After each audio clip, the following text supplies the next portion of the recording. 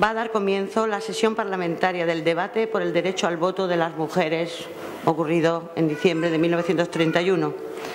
Pero antes de mirar hacia atrás, comencemos por el día de hoy, 8 de marzo de 2014, año en el que se cumplen 83 años desde que en España conseguimos el derecho al voto de mano de la Segunda República y de Clara Campoamor y Victoria Ken.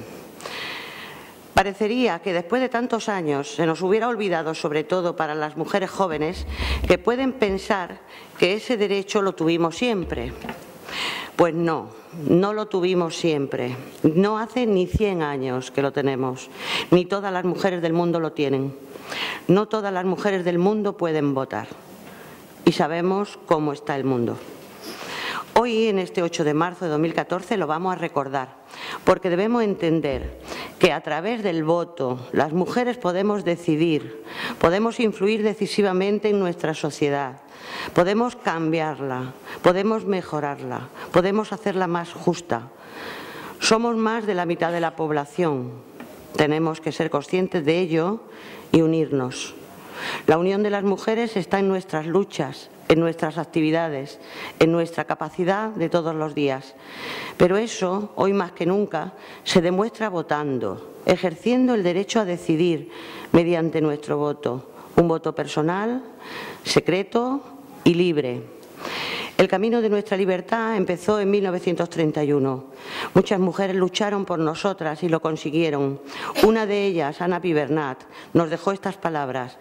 Recordad algún día los hechos y por qué luchamos. Fuimos vencidas, pero no moriremos. Siempre las hemos recordado. Hace mucho tiempo que las estamos recordando. Pero es verdad, no tanto como ahora. Antes le agradecíamos su lucha, ahora necesitamos también su fuerza y su valor. Es el momento de decir, nosotras no seremos vencidas, ni tampoco moriremos. Las mujeres no morimos, dejamos la antorcha ardiendo empapada de justicia en manos de otras mujeres. Y así avanzamos, como hicieron ellas, como haremos nosotras. Hoy queremos decirles vosotras no fuisteis vencidas, nosotras no os dejaremos morir. Estamos celebrando el Día Internacional de la Mujer y somos feministas, pero no siempre fue así. No siempre fuimos conscientes de que las mujeres somos iguales que los hombres y no siempre reclamamos nuestros derechos. No siempre luchamos y no siempre invocamos a nuestras hermanas para seguir. Hemos arrastrado siempre el estigma de unas exclusiones injustas, pero no éramos conscientes de ello. La historia androcéntrica nos había aplastado. Este proceso feminista empezó en el siglo XVIII con la Ilustración y, como dice Amelia Valcárcel, el, feminismo es el hijo no querido de la Ilustración. Primero nos planteamos la igualdad entre mujeres y hombres a través de un discurso que no solo enumeraba los agravios sufridos por las mujeres durante siglos, sino que movía a la vindicación y a la crítica racionalista de las estructuras sociales. Llegó el momento de actuar y se materializó en la lucha por el derecho al sufragio en España. Se consiguió con la Segunda República y las circunstancias de nuestra historia, con una guerra civil y una larga dictadura, hicieron que el feminismo se replegara y pareciera vencido pero no, no estaba vencido. Resurgió con más fuerza, de una manera imparable, recuperando nuestra ciudadanía de pleno derecho en una sociedad democrática. Y nada dura para siempre ni todo el tiempo. En estos momentos de, en estos momentos, de nuevo tenemos que unirnos para asumir nuestra historia, para llevando con nosotras a, tantas que no nos precedieron, seguir conquistando y exigiendo la igualdad de derechos en todos los niveles, no consintiendo la pérdida de ninguno de ellos.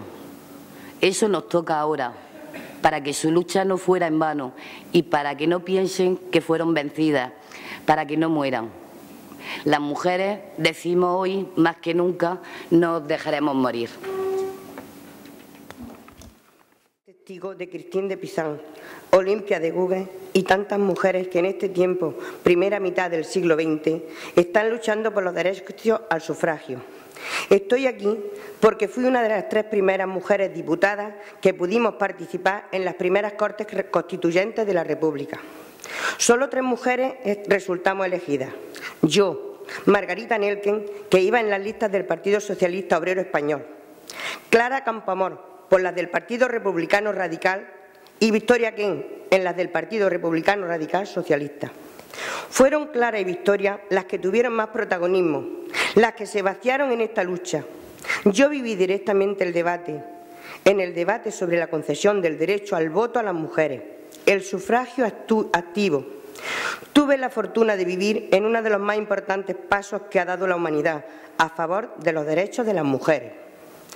El principio de todo, ya sobre el papel. Estamos en aquella sesión memorable del 1 de octubre de 1931. Se debatía el artículo 36 del proyecto de la Comisión de Constitución para reconocer el voto de las mujeres. Pero empieza el debate. Dejémosla hablar a ellas española carece en este momento de la suficiente preparación social y política como para votar responsablemente. Pienso que por influencia de la Iglesia Pienso que por la influencia de la Iglesia su voto sería conservador, lo que perjudicaría a los partidos de izquierda y a la República. Sostengo que precisamente porque la República me importa tanto, Entiendo que sería un gravísimo error político apartar a la mujer del derecho del voto. Sé que lo que voy a decir se contrapone con mi esencia de mujer, pero lo digo como mujer, que en el momento crítico de decirlo renuncia a un ideal. No crean que es fácil para mí reconocer la situación de las mujeres en general. Sé lo que me ha costado adquirir la preparación que tengo hoy. Sé que las mujeres necesitan cultura y por eso precisamente creo que aún no la tienen y puede ser perjudicial.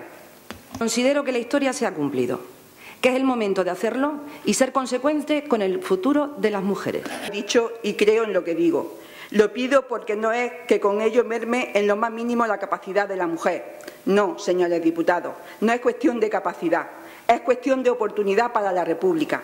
Cuando la mujer española se dé cuenta de que solo en la República están garantizados los derechos de la ciudadanía, de su hijo, de que solo la República ha traído a su hogar el pan que la monarquía no le había dejado, entonces, señores diputados, la mujer será más ferviente, la más ardiente defensora de la República. Pero en estos momentos, cuando acaba de, recibir el señor presidente firma de mujeres españolas que con buena fe creen en los instantes actuales que los ideales de España deben de ir por otro camino, cuando yo deseaba fervorosamente unas millares de firmas de mujeres españolas de adhesión a la República, he de confesar humildemente que no las he visto. Por hoy, señores diputados, es peligroso conceder el voto a la mujer. Lejos yo de censurar ni de atacar las manifestaciones de mi colega, señorita Kent, comprendo, por el contrario, la tortura de su espíritu al haberse visto hoy en trance de negar la capacidad inicial de la mujer. Creo que por su pensamiento ha debido de pasar, en alguna forma, la amarga frase de Anatole France cuando nos habla de aquellos socialistas que, forzados por la necesidad, iban al Parlamento a legislar contra los suyos.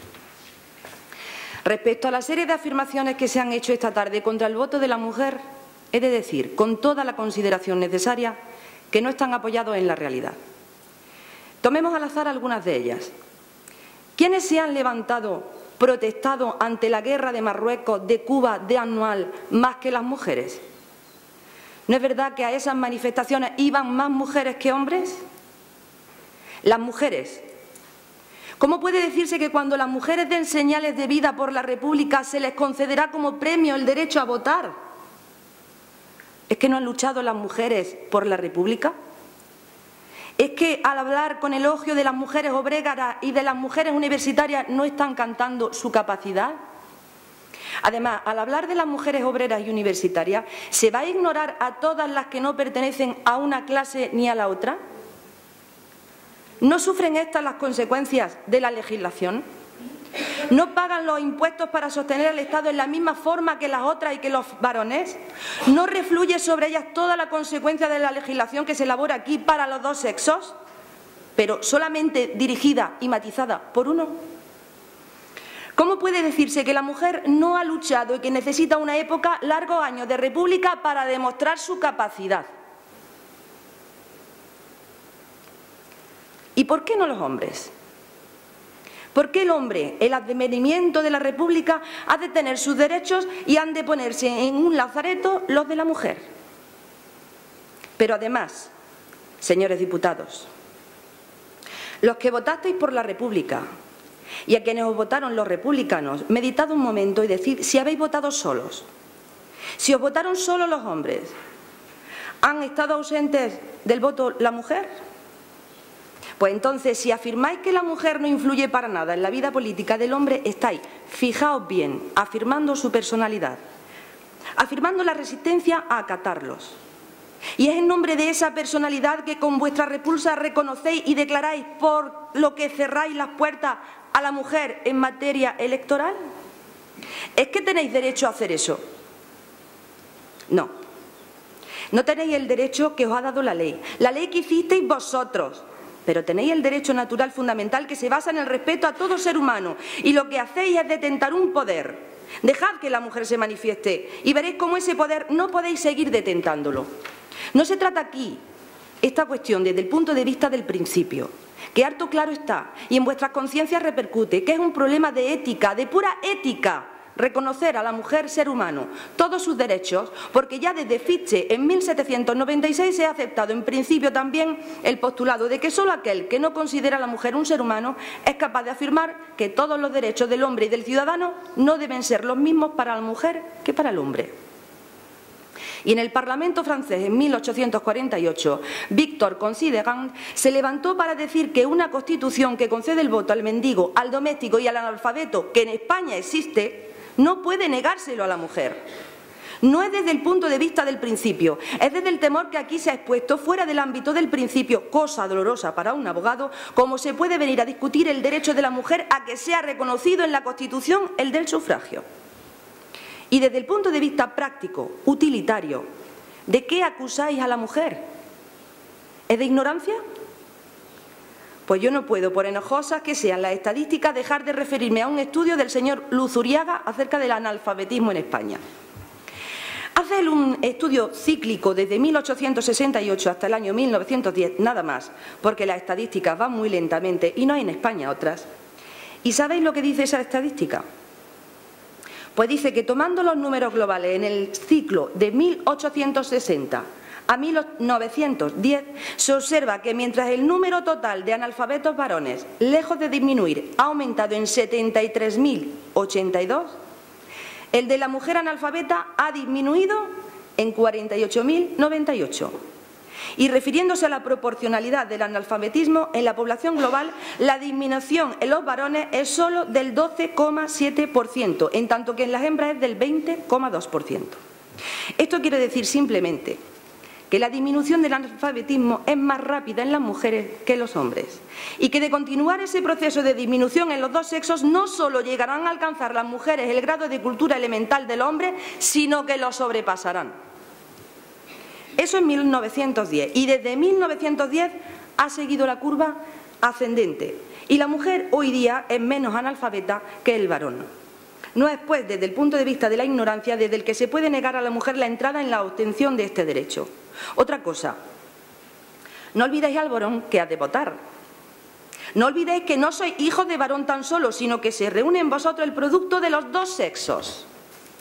En la ausencia mía, leyendo el diario de sesiones, puede ver en el que un doctor declaraba con espíritu heredado de Aristóteles la incapacidad de la mujer. A eso un solo argumento. Aunque no queráis y si por si acaso admitís la incapacidad femenina, votáis con la mitad de vuestro ser incapaz. Yo y todas las mujeres a quienes represento queremos votar con nuestra mitad masculina. Porque no hay degeneración de sexos, porque todos somos hijos de hombre y mujer y recibimos por igual las dos partes de nuestro ser, argumento que han desarrollado los biólogos. Somos producto de dos seres. No hay incapacidad posible de vosotros a mí, ni de mí a vosotros. Desconocer esto es negar la realidad evidente. Negadlo si queréis.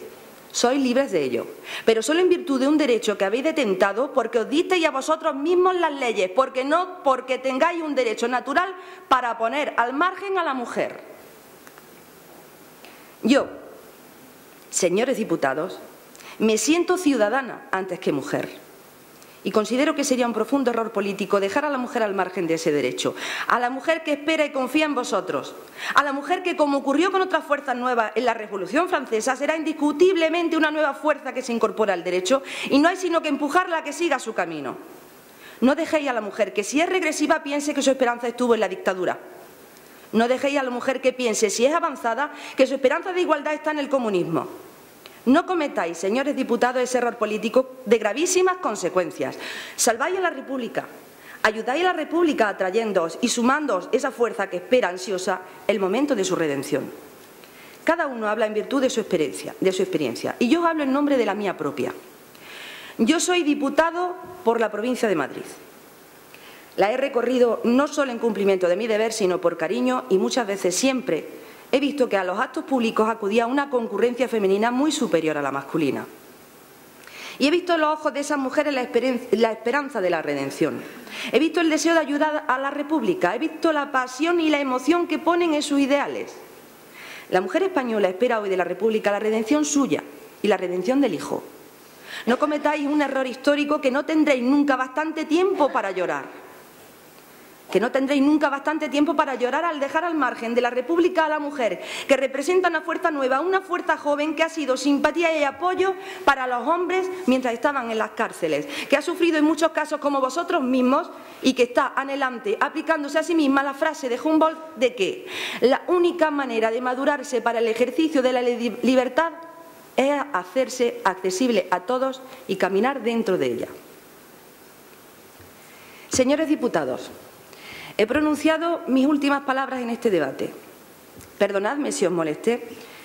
Considero que es mi convicción la que habla, que ante un ideal lo defendería hasta la muerte, que pondría, como dije ayer, la cabeza y el corazón en el platillo de la balanza, de igual modo que Breno colocó su espada para que se inclinara en favor del voto de la mujer, y que además sigo pensando, y no por vanidad, sino por íntima convicción, que nadie como yo sirve mejor en estos momentos a la República Española. Votación, la propuesta de la Comisión para otorgar el derecho al voto de las mujeres quedó aprobada por 161 votos contra 121. Sin embargo, a los dos meses hubo un último intento de Victoria Ken para conseguir que se aplazara la decisión presentando una disposición transitoria en la que se aducía que las mujeres no podían ejercer el derecho al voto en unas elecciones generales hasta después de haberlo ejercido al menos dos veces en unas elecciones municipales. Clara Campoamor se opuso a cualquier dilación diciendo que dentro de la Constitución no se eleve a la manera de los lacedemonios un monumento al miedo. Esta propuesta de Victoria Ken fue rechazada por un estresísimo margen, 131 votos contra 127. Quedó aprobado, por tanto, y reconocido el derecho al voto de las mujeres por las Cortes Constituyentes el 9 de diciembre de 1931. Esta Constitución, en su artículo 36, dice así. Los ciudadanos de uno y otro sexo mayores de 23 años tendrán los mismos derechos electorales conforme determinen las leyes. Nuestro camino hacia la libertad. Quedaros con lo que consiguieron, el derecho al voto, olvidad que se enfrentaron, no hagáis caso al enfrentamiento, eran honestas y tenían su propia idea como mujer.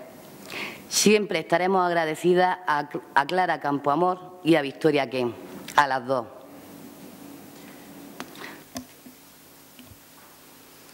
Yo admiro y agradezco conseguirlo. Yo no considero justo que en alguna manera se le oponga o se olvide a Victoria Ken. Casi como si una fuera la mala y otra la buena para las mujeres. Esto no podemos consentirlo. Clara se hizo a sí misma, siempre estuvo en movimientos feministas. Ya como política formó parte de la comisión para elaborar la Constitución, como se ha dicho, y desde allí luchó por establecer la no discriminación por razón de sexo, la igualdad jurídica de los hijos e hijas habidos tanto dentro como fuera del matrimonio y el divorcio. Todo lo consiguió en comisión, menos el derecho al sufragio que tuvo que debatirse en el Pleno del Parlamento. A sí misma, aunque tuvo mejores comienzos. Cuando entró en política, hizo retirar los grilletes y cadenas de las prisiones y con su metal hacerle una estatua a Concepción Arenal, otra mujer, su precursora. Reformó las cárceles, mejoró la alimentación, permitió la libertad de culto, estableció los permisos por razones familiares, cerró 114 centros penitenciarios por estar en pésimas condiciones, ordenó construir la nueva cárcel de mujeres de venta en Madrid, en la que ya no existían celdas de castigo. Creó el Cuerpo Femenino de, de Prisiones para las cárceles de mujeres y el Instituto de Estudios Penales. Las mujeres debemos estar al lado de las dos. Y yo, junto a Clara Campoamor, también reivindico a Victoria Ken, a las dos. Las dos abogadas, honestas, inteligentes, comprometidas y diputadas en el mismo par par Parlamento feminista. Cada una a su modo, pero leales con las mujeres. Clara pensaba que las mujeres tenían derecho al voto, cayera quien cayera.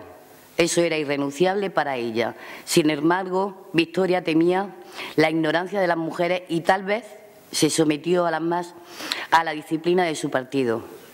Tal vez una era más política que feminista y otra más feminista que política. No sé, tal vez y solo digo tal vez. No juzguemos el ayer con los ojos de hoy. Ellas cumplieron su cometido con la historia. Y mi teoría es que fueron dos puntos de vista argumentables. Pero no hay que dejar de abrir camino. Me quedo con las dos. Ya tenemos el derecho al voto, pero debemos formarnos y avanzar en nuestra independencia y cultura. Y una vez conseguido esto, avanzar para conseguir la igualdad real reivindicar, luchar por nuestros derechos decididas, unidas e inquebrantables. Nadie lo va a hacer por nosotras.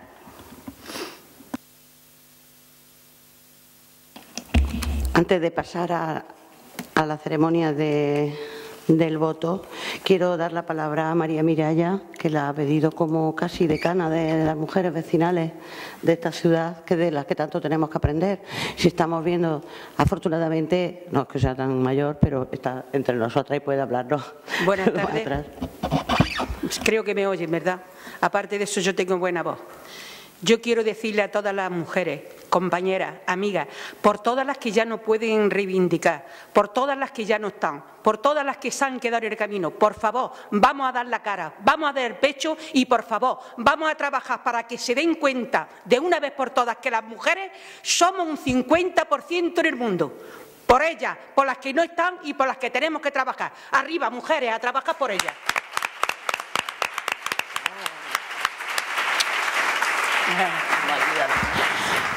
Bueno, vamos a ir votando las dos personas que hemos elegido como, participantes de la mesa en votación. déjame, déjame un papelito, déjame un papelito, Eduardo. Se va a proceder a votar la frase Caminemos imparables hacia la libertad. Damares. Irla doblando. Araceli, irla doblando, irlas doblando.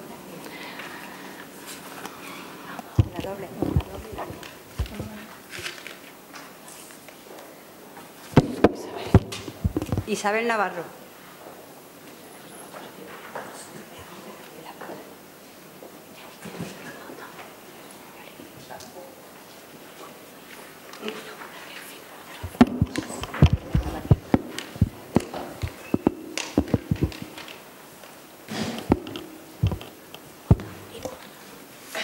Vota.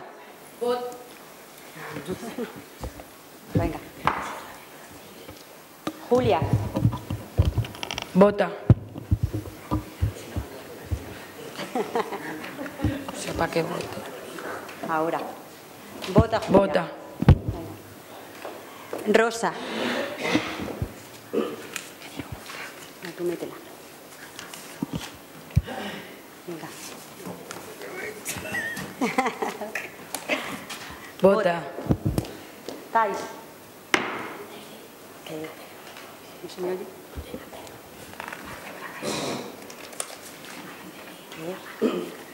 Sí, sí, sí, tranquila. Vota. Carmen Carrera.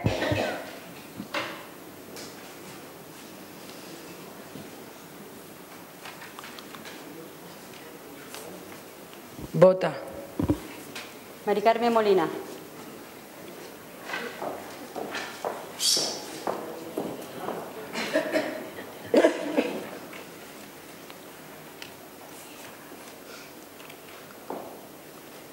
Vota. Nani Gascón. ¿Cómo se llama? ¿Aquella cómo se llama? Pepi.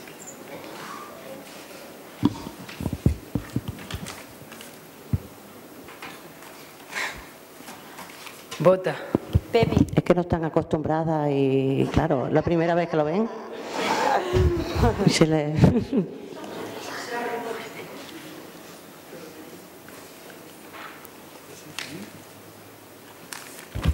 Vota. Ana.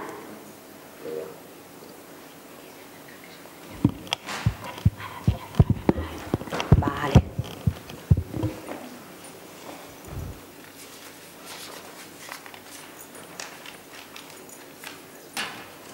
Vota. Mari.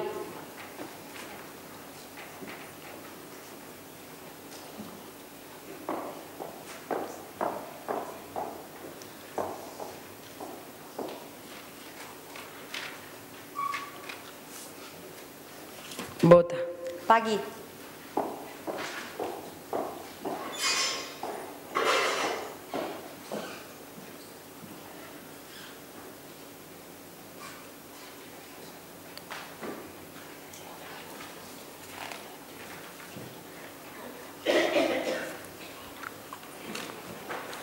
Vota. Celina.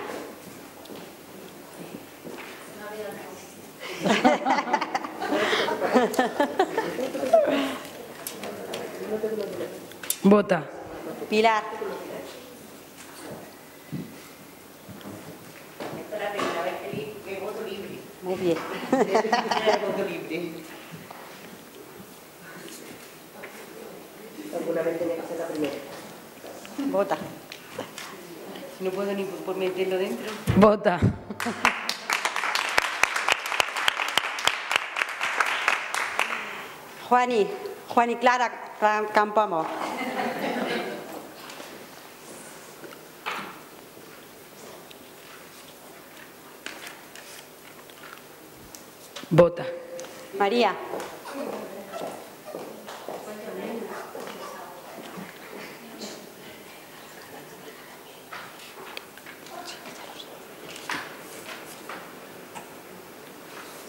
Vota. Vota. Carmen Domínguez.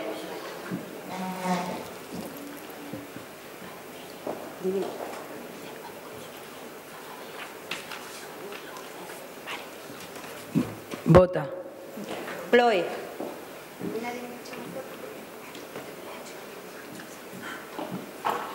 Se te están grabando, luego tenemos una copia. Vamos a tener una copia. Vota. Consuelo.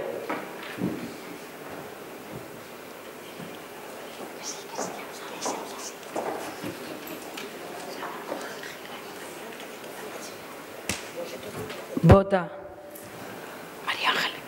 María Ángela González López. Espera.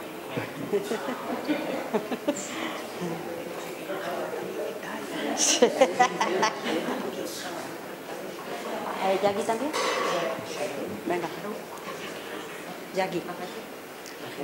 Jackie. Jacqueline. Ángela, que Anita. Anita. Jacqueline, ¿en, en Cuba se vota? ¿Las mujeres? ¿Sí? ¿Desde cuándo? ya me informaré.